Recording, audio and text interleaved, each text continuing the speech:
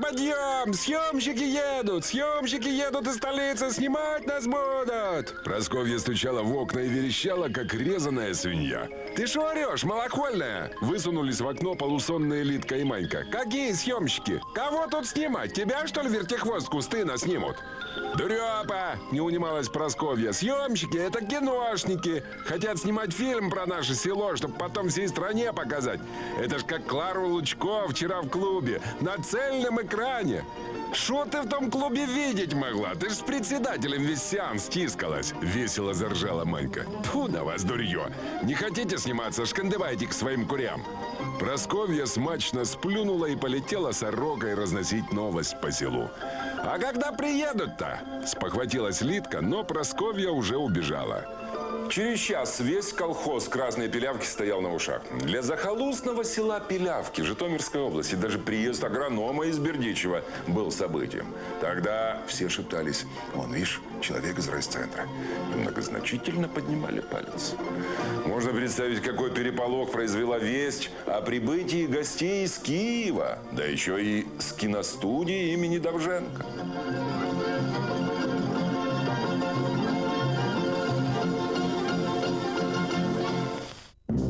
Председатель Пантелей Прокопыч Миколайчук созвал экстренное собрание. «Значится так, народ», – прокашлялся он в кулак. «До нас едет ревизор. Ну, почти ревизор. Едут съемщики из самого Киева, чтоб кино про нас сымать. Любовь колхозная». А главное, наших баб и девок будут отбирать в актрисы. Сейчас в кино нужны люди из народа. Местные девки тут же зарумянились и принялись поправлять платки. Село позорить не дам, а посему слушать мою команду. Чтоб у хатах меня чисто было. Чтоб у каждой каравай на столе, порядок в курятнике, бабы в чистом, мужики трезвые. Все поняли? Грозно помахал кулаком председатель, и народ послушно закивал. А ты, Колька, на глаза не показывайся. Того и глядишь, попрешь чего у гостей, потом позору не отберемся. Что вы такое говорите? Я ж три года как завязал. Оправдывался мелкий вор Колька Барматуха. Но его честную репутацию тут же испортила Манька. Ах ты ж брехло! А кто же у меня тачку навоза с города упер? Я по следам проверила. Аккурат к твоему двору ведут, гаденыш. Вот ухвачу тебя за чопом мордой в тот навоз. Мордой! Тут подключились и остальные бабы, у которых Колька при случае умыкал то курочку, то топорик, даже панталонами не брезговал. «А ну, цыц мне тут!» — встрял участковый Головко. «Эх, барматуха, мы ж тебе простили отсидку твою. И в колхоз взяли. Официально, между прочим, а ты, пес неблагодарный, опять за свое?» Головко дал Кольке подзатыльник. «Навоз Просковье вернуть, а властью, данную мне государством, я тебя у курятники запру на суток 15». Народ тут же загорланил. «Правильно, под замок шельмеца, чтоб пилявки наши не поганил». Председатели колхозный актив также поддержали идею запереть Барматуху под замок, потому как съемка в селе сулила немалые выгоды. Это и деньги на ремонт покосившегося сельсовета, и дотации из района – а местные бабы, уже видящие себя на большом экране, просто не могли упустить возможности покрасоваться перед столичными знаменитостями и заделаться актрисами. Поэтому все от мала до велика были заинтересованы в положительном имидже красных пилявок, который мог испортить бывший уголовник. Вот это натура! Вот это типажи! А какая экспозиция, а, Кузьма Лукич? Павлином по селу вышагивал режиссер Андрей Леонидович Савченко с директором картины Кузьмой Бабкиным и прицокивал языком. Сопровождал их лично председатель. Нет, Кузьма, ты оцени простор, масштаб. Первоклассная локация, широко повел рукой Савченко. Тут э, диафрагма нужна и компендиум, заключил режиссер. Пантелей Прокопыч покрывался мелким потом при словах «экспозиция», «компендиум» и «диафрагма». От неловкости он прокашлялся в кулак. «Вы, мужики, только того, при бабах наших-то не выражаетесь. У нас бабы культурные, а матюков не переносят». Вокруг процессии волчком вертелся маленький очкастый ассистент Вовчик. «А где нас разместят? А харчеваться мы за свой счет будем, или как? «Да что ж мы таких уважаемых людей обидим?» Даже крякнул председатель. «И поселим, и накормим. Все чин по чину. Такая честь для нас». Хлебосольного Миколайчука прервал Савченко.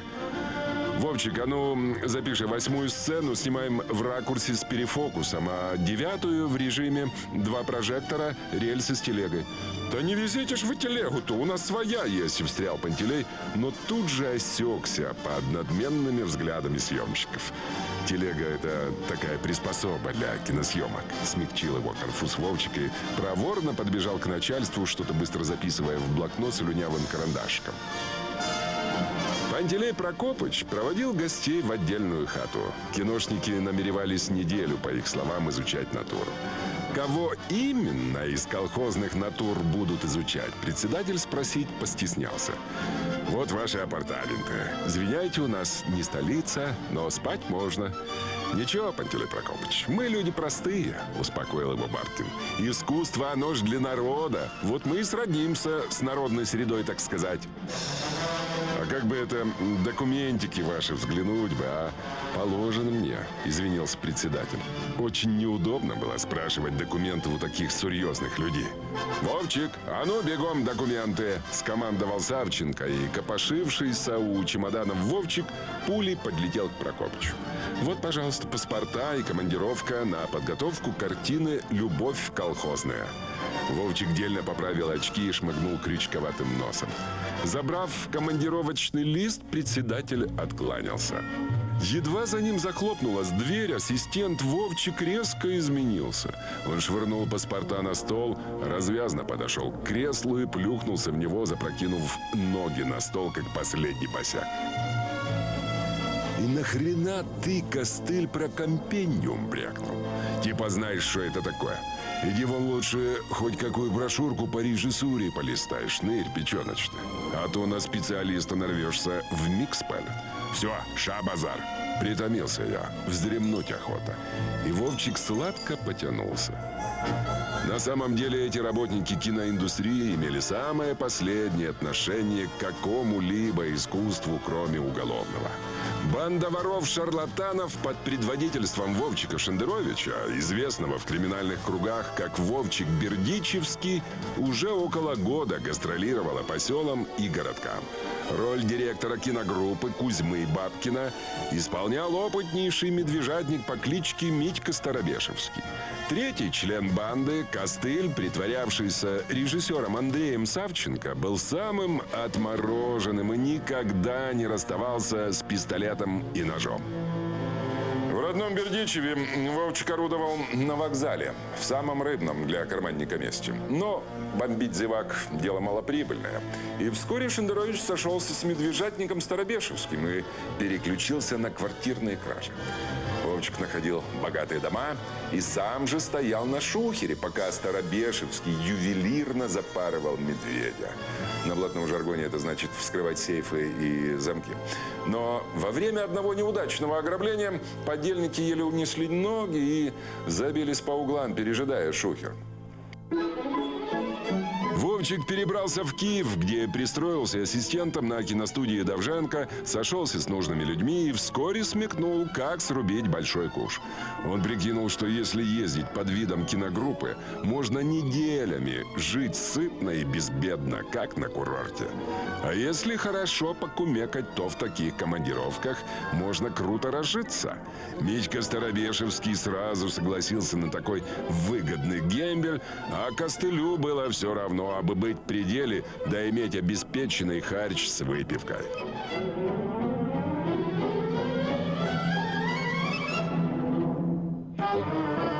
С утра в хате у Просковьи собрались девицы. Никто не догадывался, что их любимые пилявки будут десятым селом, которое пострадает от аферистов. Женщины собрались с великой целью навести марафет. «Вот что, девки!» – заговорщицки начала Просковья. «Я секрет знаю!» И достала огромный медицинский пинцет, накануне одолженный у фельдшера. «Хошь, Литка, быть как Любовь Орлова?» «Хочу!» И шука хочу. Лидка вылупилась на фотокарточку кинозвезды.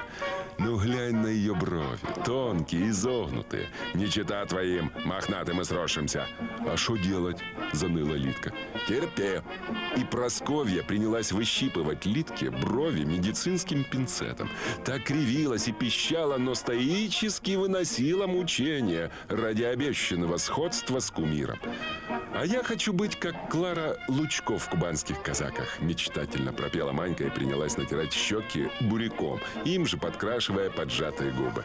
А я не стану малевать себе лицо. Я и так хороша. Из угла отозвалась Анюта, председателева дочь. Ишь ты, хороша, ерничала Просковья. Вот увидишь, мы все будем, как Любовь Орлова, а на тебя и не глянут. Любовь Орлова в 50-е еще оставалась эталоном красоты, несмотря на новых красавиц-актрис, заполнивших экраны. Ее образ, который, как переходящее красное знамя, подхватывали новые артистки. Марина Ладынина, Валентина Серова, Людмила Целиковская. Однако такие удивленные брови-ниточки ввела в моду не наша Орлова, а немецкая кинодива Марлен Дитрих. Стройная изящная блондинка с завитыми волосами, тонкими губами и удивленными бровями стала культурным символом 30-х годов. Поэтому Орлова и позаимствовала у Дитрих такие брови. Надо сказать, что косметики как таковой в СССР практически не было вплоть до начала 50-х годов. Три вида рассыпчатой пудры – кармен, мимоза и ландыш – но даже эти немногие предметы роскоши в советский период являлись дефицитом. Как в провинции, впрочем, так и в столицах республик, и даже в Москве. Возможность достать эту продукцию, как и многие другие вещи, была прежде всего у партийной элиты, звезд театра и кино, крупных ученых, писателей. Жизненно важную роль играли полезные знакомства. За складом, там, скажем, или товаровед.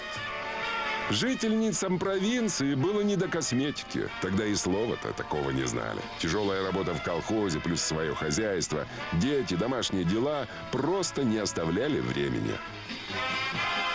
Однако перспектива сняться в кино толкнула пилявских колхозниц на ускоренный косметический ликбез –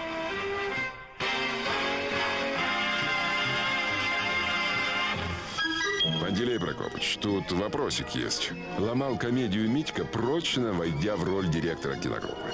Я надеюсь, ваш колхоз правильный, в смысле идейном? Не понял. Ну, там криминального элемента нет? Врагов партии, так сказать, или уголовников каких, сидельцев, спекулянтов? Не, что вы, что вы, замахал руками председатель. Уголовщину не держим, у нас трое партийных, восемь комсомольцев и еще четверо кандидатов. Миколайчук мысленно молился, чтобы Колька Барматуха не сбежал из курятника. Вот и славно. Ну, показывайте ваших красавиц. К моменту выхода дам съемочная группа уже была накормлена до отвала и подогрета местным самогоном. И тут начались смотрины. Просковья и Манька были как матрешки-близнецы. Их щеки украшали ярко-малиновые круги. А Литка после экзекуции пинцетом стала похожа на кикимору с двумя кривыми косыми полосками, смотрящих в разные стороны бровей. Единственной девушкой, на которую можно было смотреть без смеха, оставалась Анюта. Вовчик пнул под столом Митьку. «Моя!» – тихо прошипел он, указывая на председателеву дочь. Девицы принялись демонстрировать свои таланты. Просковья затянула песню из кубанских казаков. Пела она, правда, прескверно, но киношники остались довольны. У Просковьи при пении так и ходила ходуном ее пышная грудь, что приносило немало удовольствия захмелевшим эстетам. Потом Манька с Литкой завели кадриль, а участковый Головко подыгрывал им на балалай. Пляски и песнопения были характерной приметой кинематографа 50-х годов, посвященного советской действительности. В этот период в советской культуре доминировала мертворожденная теория бесконфликтности. Главный канон теории – это борьба хорошего с еще более хорошим, то есть лучшим. Теория бесконфликтности набрала обороты к концу 30-х, но окончательно оформилась лишь в послевоенных кубанских казаках. Сказание о земле сибирской и прочих мифопоэтических творениях перезрелого тоталитаризма. Процесс труда в них показывают без надрыва, без трагизма, ибо труд стал не только делом чести, доблести и геройства, но и любимым занятием, что народ иронически отразил в гениальном лозунге «Хлеба не надо, работу давай». Тут и возникают трактористы. Фильм наиболее показательный. Это первая советская картина, где процесса труда нет как такового. Он насквозь номинален. Зато есть беспрерывная песнь, пляска и сплошная подмена труда праздником. Мы почти не видим Клима Ярко пашущим, но зато видим пляшущим. И это позволяет нам с легкостью вообразить, как должен пахать такой плесун. Опять-таки вместо демонстрации трудовых подвигов Клима нам показывают, как этот персонаж с какой-то радости надумывает учить своих трактористов уставом советской армии.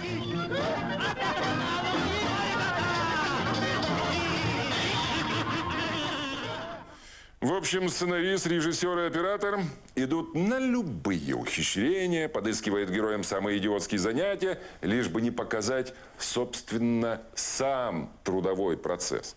Лишь бы вынести за кадр все, что интерпретируется не как праздник, а как натужная, тяжкая работа. В процессе своих занятий все поют, даже не сбивая дыхания. В итоге любой рекорд достигается как бы сам собой.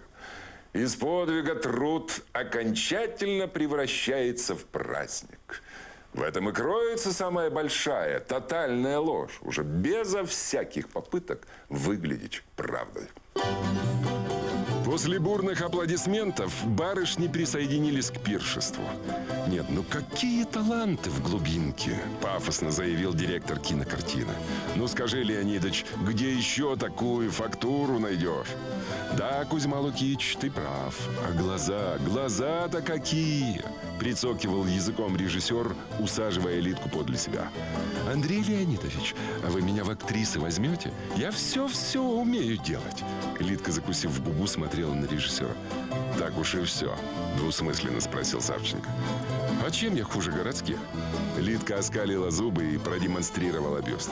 Да, нынче только в деревне можно найти такую первостатейную натуру. Простонал костыль, впившись зубами в спелый помидор. А Митю плотно зажали Манька и Просковья, и теперь Старовешевский, пуская слюни, решал, какую первую потащит на сеновал.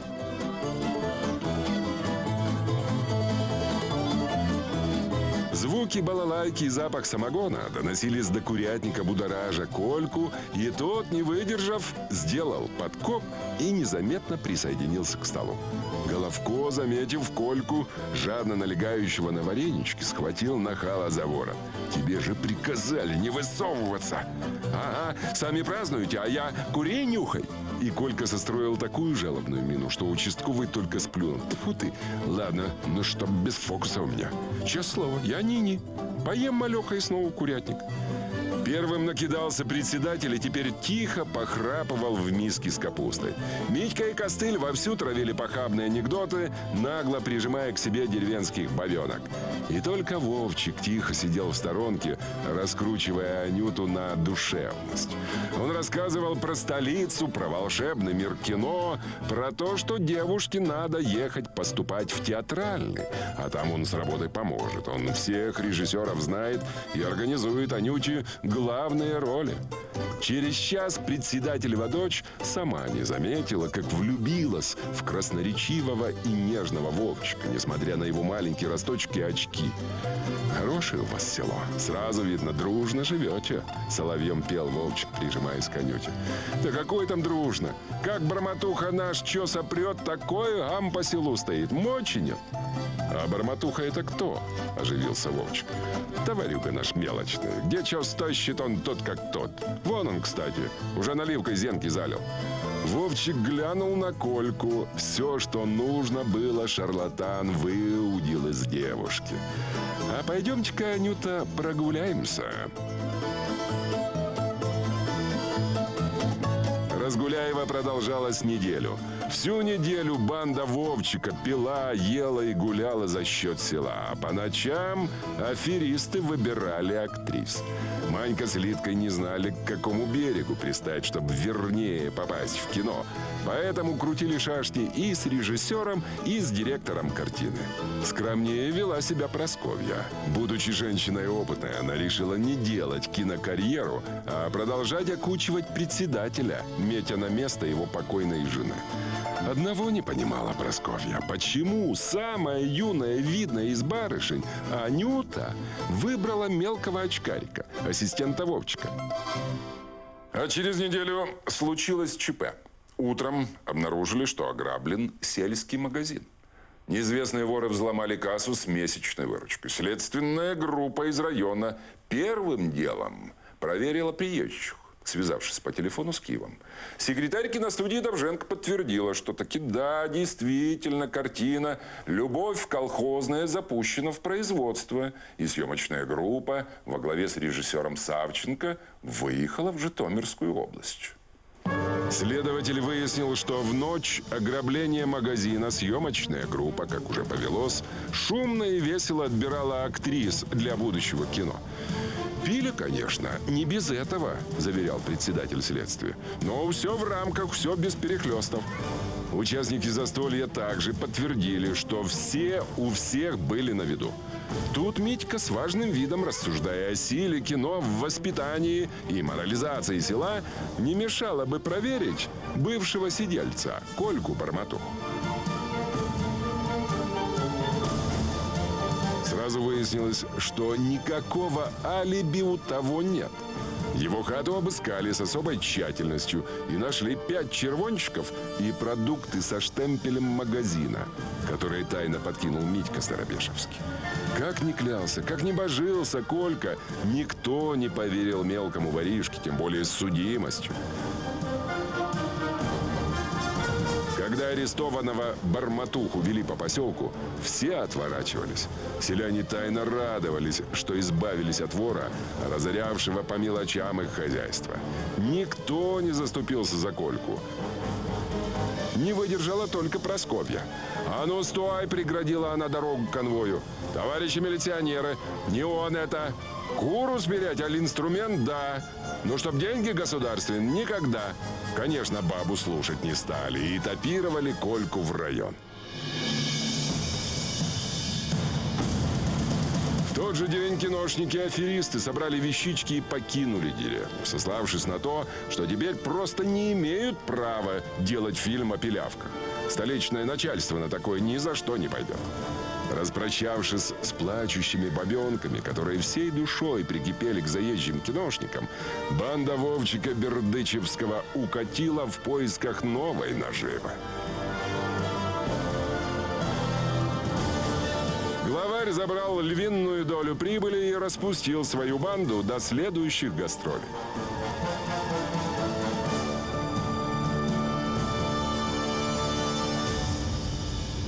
Таких вояжах Вовчик Бердычевский неплохо разжился за последние три года. Схема была очень проста. Работая ассистентом на киностудии Довженко, он легко выяснял, какая картина запускается в производство. Затем отправлялся в какой-нибудь отдаленный колхоз под видом съемочной группы. Киношников везде принимали вольным. И аферисты по нескольку недель жили за казенные счеты, жировали в селе. И для них иной раз резали единственного, последнего кабанчика. За это время Вовчик вынюхивал подозрительных элементов из местных, на которых, в случае чего, можно было свалить вину. Ну а потом, когда село привыкало к их ежедневным попойкам, Митя брал кассу, что покрупнее, иногда магазинную, иногда колхозную. Важнейшим звеном преступной схемы Шендеровича была Эвелина Гурьевна Канцельбобер, секретарша производственного отдела киностудии «Довжанка». За искрометные комплименты и редкие свидания с Вовчиком она сливала ему информацию о предстоящих съемках. Она же и выписывала Вовчику фальшивые командировочные, даже не спрашивая зачем. Любила Эвелина Гурьевна Вовчика. Как раз в момент, когда он щекотал ухо секретарши, распевая очередные дифирамбы, показался настоящий режиссер Савченко, энергичный молодой человек. Поздоровавшись, он весело поинтересовался.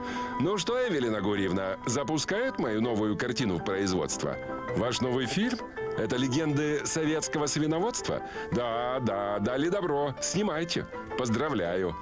Легенды советского свиноводства станут моим триумфом, сотрясал воздух Савченко. Я в этом фильме расскажу о трудной и легендарной профессии, профессии свинарок и пастухов.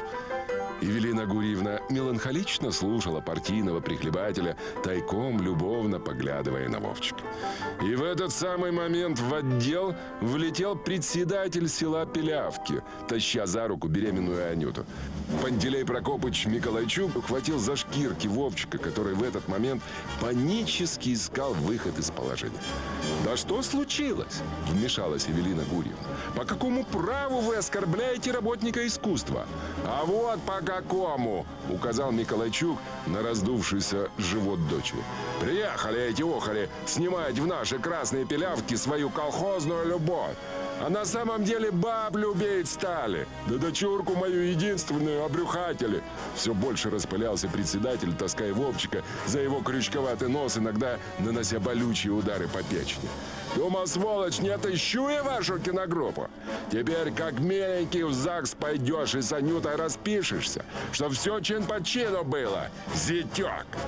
А ну молчать всем, рубанул рукой Савченко. Ни в каких пилявках мы колхозную любовь не снимали и в подтверждении своих слов подсунул прямо под нос председателя удостоверение, подтверждающее его личность. Внимательно вчитавшись в документ, Миколайчук свирепо зыркнул на ассистента.